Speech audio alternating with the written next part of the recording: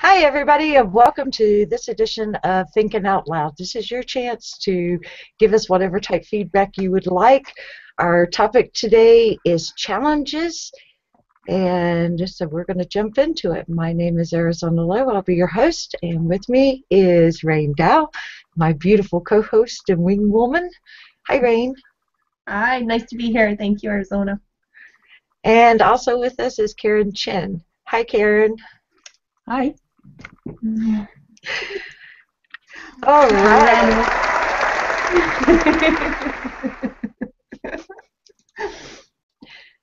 All right, now we've had our big round of applause. Um, Karen, how do you define an internet challenge, and what is it about them that is so you're so passionate about?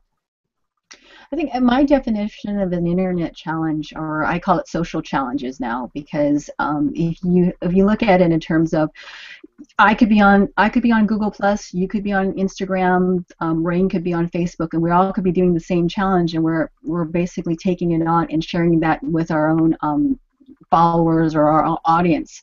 Um, the idea for me in terms of internet challenges, I find that they kind of actually stretch and grow you because you are sharing your stuff with hopefully with with the with the with the people who are taking on the challenge and you actually get to learn from each other um, about particular items that you may not necessarily know about and learn from. So i find that pretty interesting when it comes to taking on challenges. Do you um, learn about yourself as well during a challenge? Yeah, I've really, I mean, I have never really taken on internet challenges until literally becoming to being on Google Plus. And the reasons why I started these challenges was I usually, to be honest, I was looking to figure out how to create original content.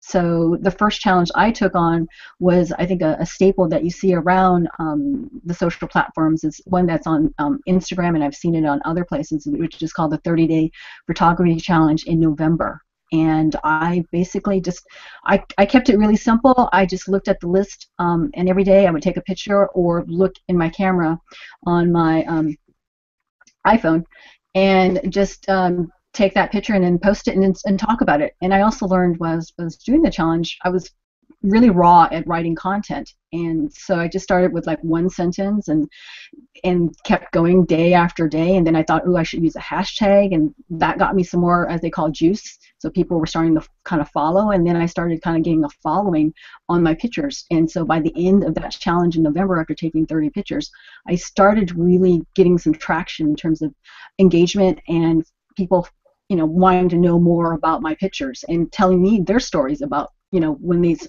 what, how I touch them by my pictures, which I thought was really cool. That is really really cool. And just talking about um, being social, Karen, I just want to um, pin up a couple of comments here. We've got TLC Photography who is saying this is going to be a fabulous show. Karen V Chin rocks. She has some exciting oh. stuff going on. Oh, thank you. So there you so there you go. That's social in, or social internet and, and internet challenge. And then we've got Rob Ox in the audience saying he wanted to thank Sudesh Solanki. I hope I pronounced that correctly for sharing this event with with them. They're looking forward to watching. So we hope you're there, and we're we're glad you we're glad you're looking forward to it. And of course, the beautiful Catherine Will Fong. She's looking saying it's looking like another amazing show. So we're glad to have you here, Catherine. That's awesome. Oh, and we've got Dr. Tammy Cashin. Nice to see you here, Dr. Tammy Cashin. Hi, Dr. Tammy. Dr. Tammy, yeah, awesome. She, she's an amazing woman too. Yeah. Um, yeah. And, and, one that I think would be very interested in um, some of these challenges. Mm-hmm. Um, but you know there are things that keep people from wanting to become involved in challenge and i think the greatest one of those is a fear of failure you know either they're afraid mm-hmm. that they're going to be laughed at their content's not going to be good enough or they're also maybe afraid that they cannot achieve the challenge you know on a daily basis especially these ones that are 30 days or you know 365 days like the one i tried last year and failed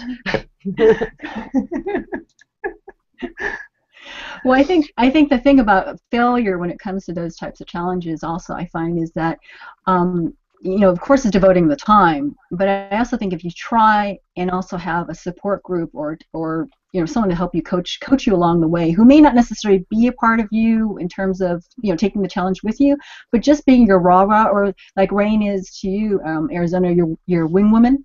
Mm-hmm. It's just having that encouragement and and kind of saying to you, hey, I didn't see that post today. Where is it? You need to get it up there. I think that helps. And if you are with a group of people people who are taking on those challenges, you know, for example, like I know like Ironman or you know one of those types of where your endurance, you're basically with the team and you're just kind of self you're motivating yourself and you don't want to let the team go and down by not participating. So that kind of encourages you to kind of get out and actually do it.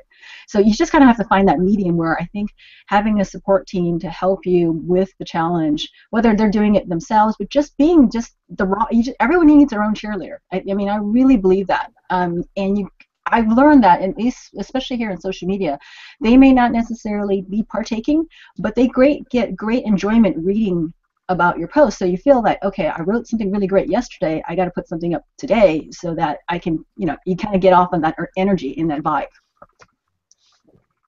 Yeah, I agree with that. And you you do um, you do something interesting too, Karen. You do a bit of repurposing. So basically, you'll start this challenge, and you won't just post it on, say, you were saying earlier, you won't just post it on Google Plus, you'll post it on Instagram as well. Is that what your mm-hmm. experiment with the challenge was about? Yeah, so for the for the November challenge, which was my first one, I wanted to kind of also test Instagram too. So I, I I basically take the, took the same image and posted it on Instagram, and then I posted it on Google. Of course, Google you can talk a lot more versus Instagram. Um, and I found that it was interesting because there's di- different demographics with you know with each platform. That um, Instagram is much more focused, of course, on fashion, um, food. Lots of you know a lot of foodies out there, and more of a lifestyle kind of thing. Versus on Google Plus, people really kind of wanted to know more about um, you know more about experiences. And you can actually do that because you know with google you can you could be writing you know, you know i call them I, I call them at toward the end like mini blogs of, of describing what that what that photograph was like which you can't do on instagram. Have have you used pinterest at all for your challenges? Yeah um all three challenges now are been i've i've basically consider Pinterest kind of like my filing cabinet where I've taken all of the Google um, content that I've created and basically have, have, created a board for each of them. So I can share the link if anyone's interested. I've got them all kind of lined up where you can easily just kind of see all 30 days in one area and you can just pin away if you want to. okay.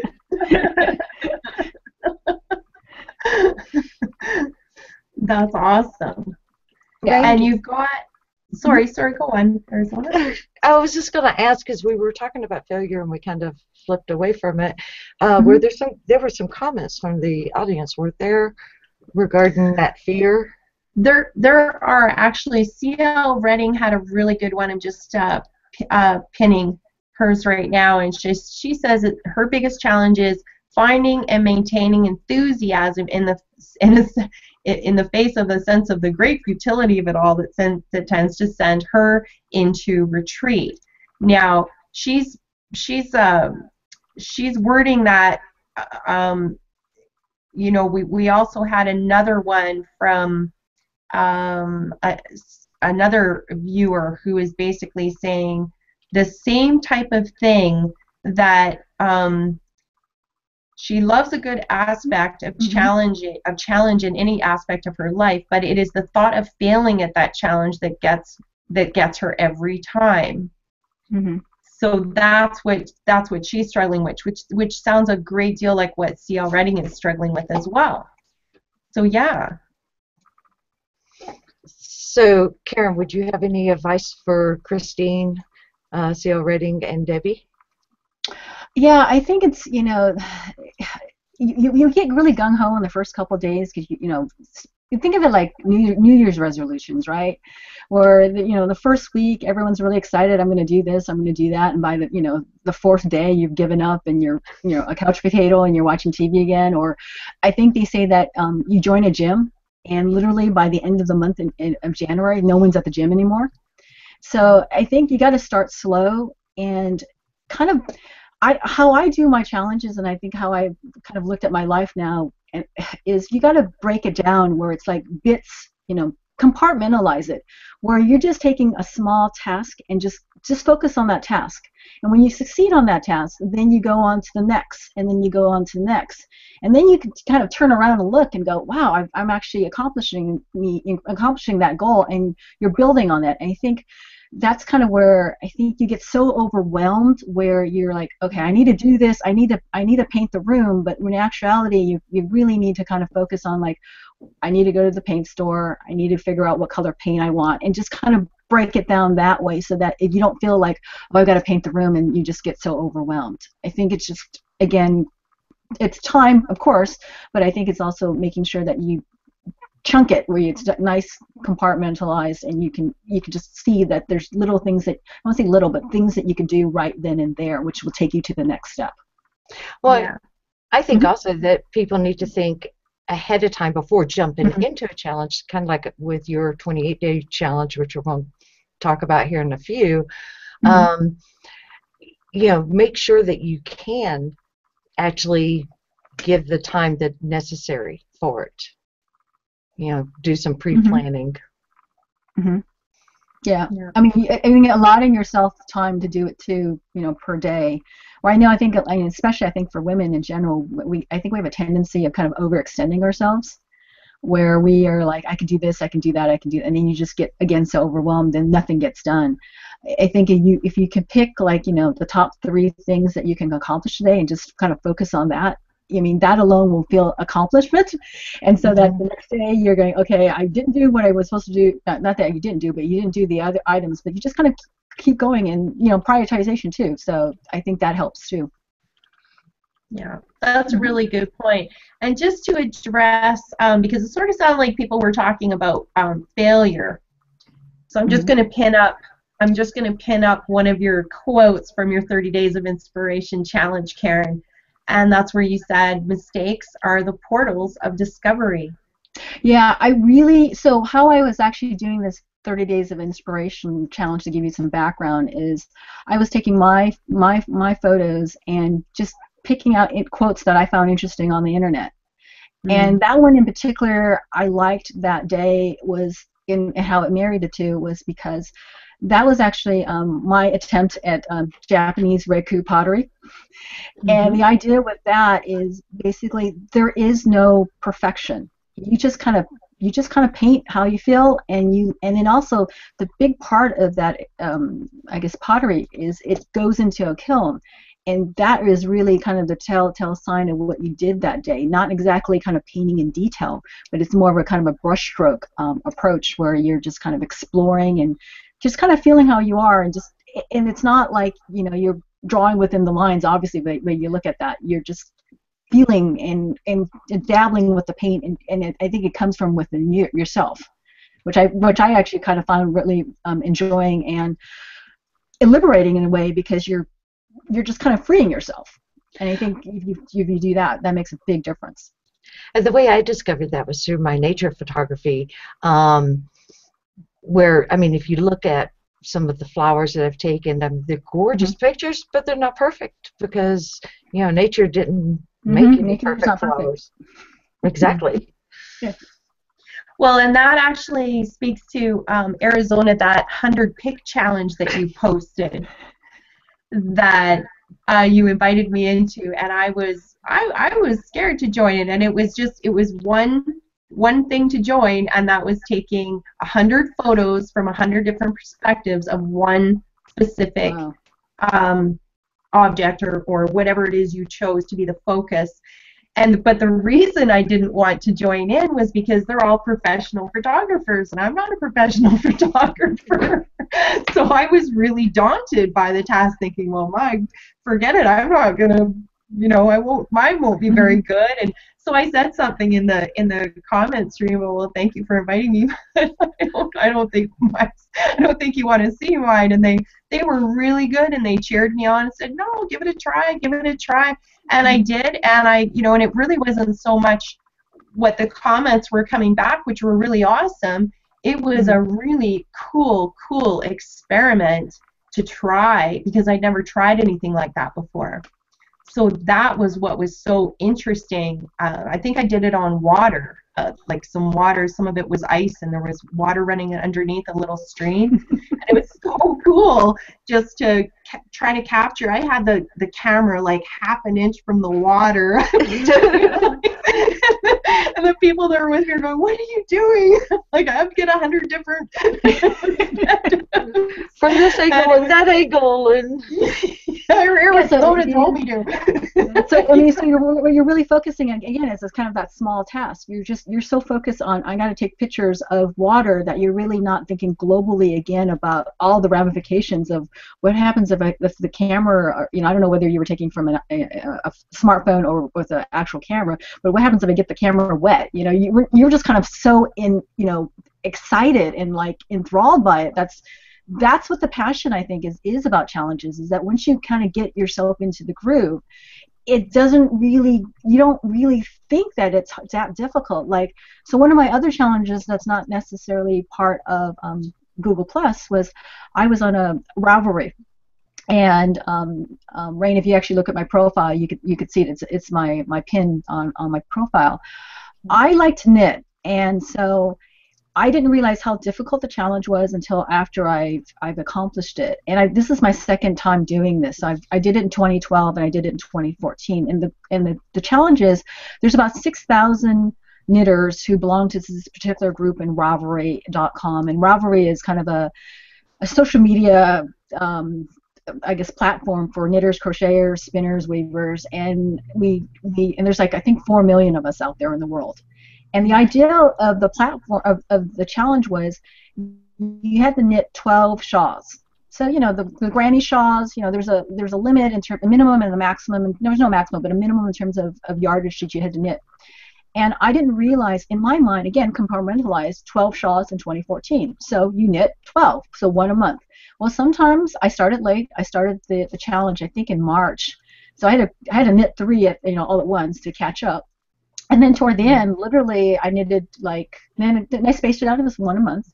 And at the very end, I had to knit a bunch of them. So again, I think it's just how you mentally prepare yourself to knit this you know in my in my mind and to just say hey i'm just going to do it and then i didn't realize that of these 6000 knitters out there who belong to this particular um, group i'm only a, one of 110 people that actually accomplished the goal and then when i did the math in terms of how many um, how many you know yards of yarn i knitted um, i think it was like um, about over 5500 yards and about over 20 skeins of 20 balls just to give 20 balls of yarn.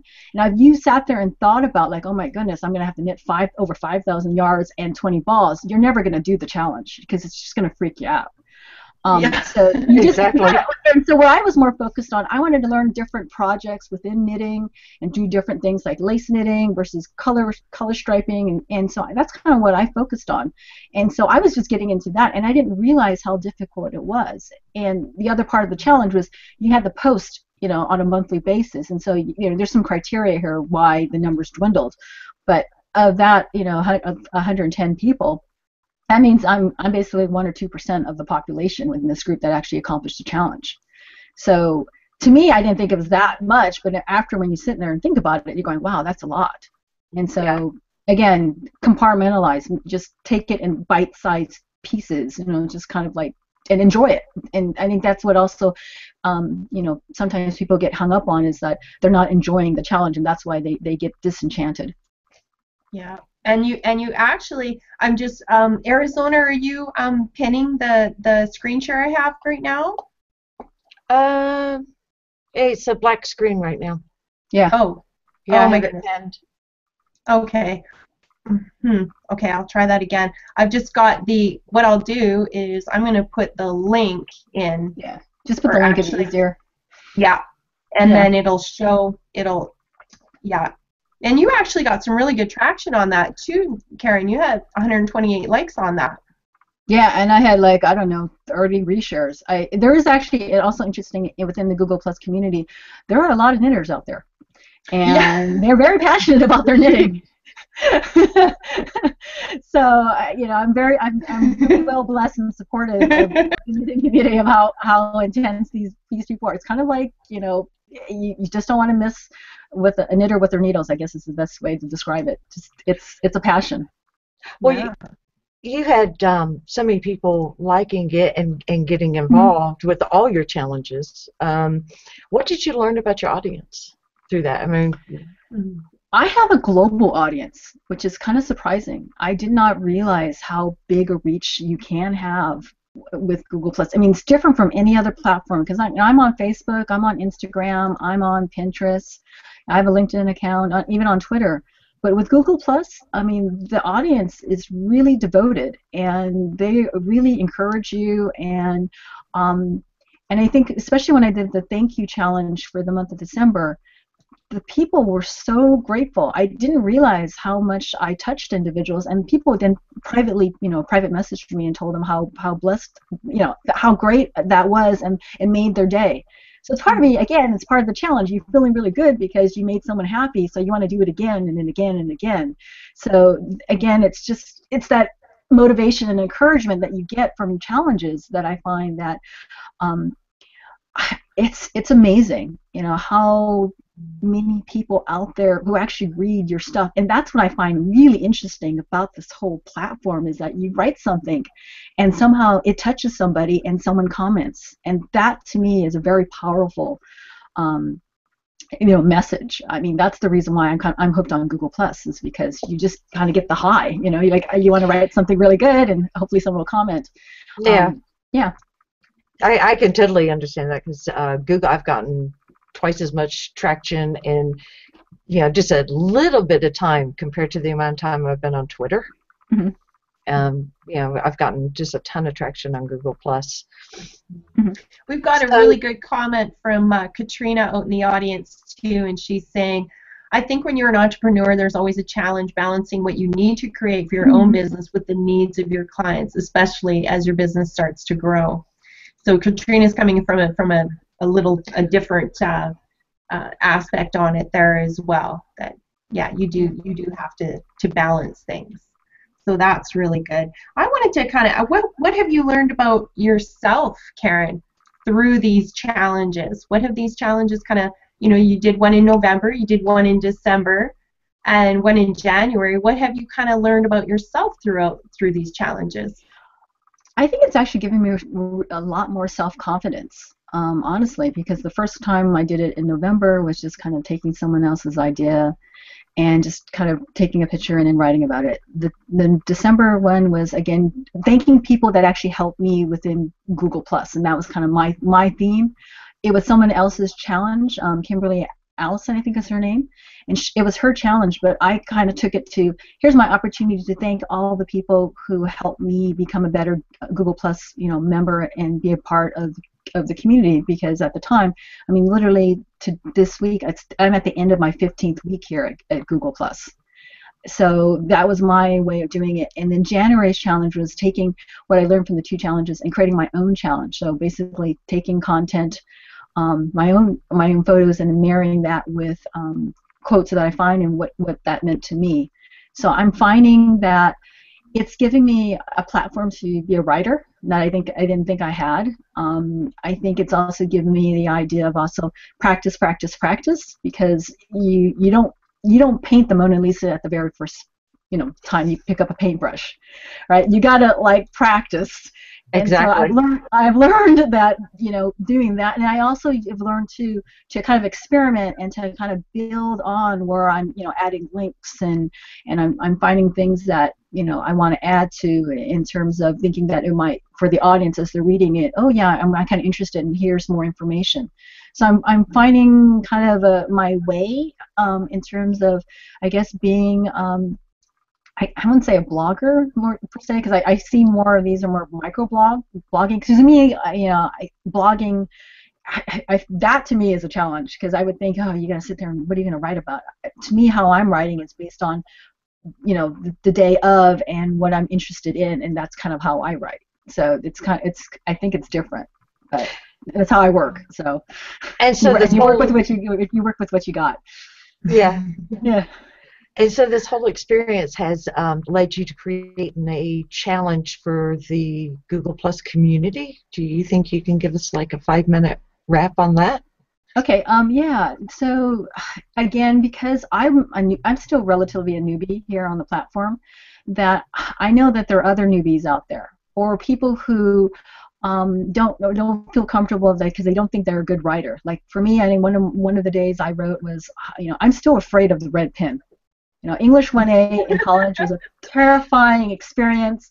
I, I mean, if someone's sister crosses red ink on me, I'm like freaking out. Like my blood pressure goes. So I was thinking of the tw- this this challenge I wanted to create was to write about stuff that you love and that you're passionate about. And since the month of February is a really good chance to do that because it's the month of love, here's a, a really great opportunity to do that. And to also give you kind of some background on this challenge is I am part of um, Plus Your Business. Um, it's a um, a community for people who are devout Google Plus and for you know again Plus Your Business for for business, and it's run by Martin Shervington. And I um, I'm an academy student, so I actually have networked with a lot of people here on Google Plus, and one of them, her name is Susan um, Susan Shanglo. Shangle, I was hoping I'm not saying her name wrong, out in New Zealand, and she and I were talking on New Year's Eve about challenges and how much she she was thinking I should do an, another challenge for February, and that's kind of how we came up with this love theme of writing about what I love, and I thought, well, other people will have the same you know, concept. of like, let's you know, write about that. And then I had another individual within um, Your Business. His name is Ray Lay, and he's out in Mexico. He keeps correcting me because uh, originally was calling this a 30-day challenge. He goes, no, it's 28 days because the month of February. So that's kind of the context of it. So the idea is to just write and have. I have a list of um, items that you need to take a picture every day. So Rayne, if you love water, there is. I think there is a, a there is something about water in one of my one of my daily challenges that you can take a picture of. Oh. And you you've got 28 days to take individual pictures, or you have in within your camera, um, you might have photos on your uh, on your iPhone or your Android that you can use. So to make it kind of easy, so you don't have to like I have to take a picture that day, and all you have to do is just write two a minimum of two sentences of why you love this. And so the idea is to open up on Google Plus to share your interests, and so that hopefully like-minded people out there who would be interested in water uh, could could talk to you about that. And you never know how that could lead to because it, again, it's a conversation. And what I found when I was doing all my challenges, someone could be interested in um, my dogs, and then they're interested in um, um, learning more about um, social media in terms of Twitter, and I post you know multiple things on my pro- on my profile, multiple subjects. So I, I think it just you, you just get more you become more attracted to others when you start opening up and talking about yourself because there's a there's a commonality that someone finds about yourself. So that's kind of what the challenge is about. It's just exploring your, your self-discovery, letting the world see that, and hopefully that will again you're able to meet and build relationships from that. And and of course you're you're um, wanting people, maybe even challenging people to do more than just hit the plus one. Yeah, I mean, I, it'd be great if everyone could comment and talk about it, because that's what I find interesting is that when people start commenting, truly commenting, and not just saying, "Oh, great, thanks," but saying, you know, Rayne, that is a lovely blue um, red jacket you're wearing today. Where did you get that? Again, that starts the conversation, and you know, the next day you might post another item that again conversation starts.